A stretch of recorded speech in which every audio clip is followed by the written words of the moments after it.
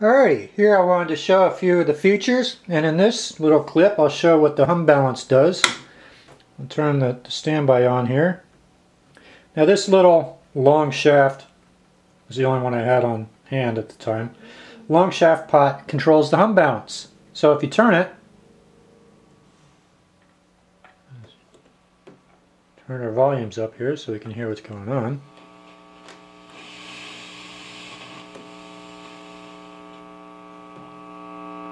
If I turn the pot, you can hear the hum. See, right there we have the master volume all the way up the, and the second gain all the way up. And there's only hiss. And you turn the thing and you get hum as you go off from the, the sweet spot, go away from the sweet spot. There's on both sides.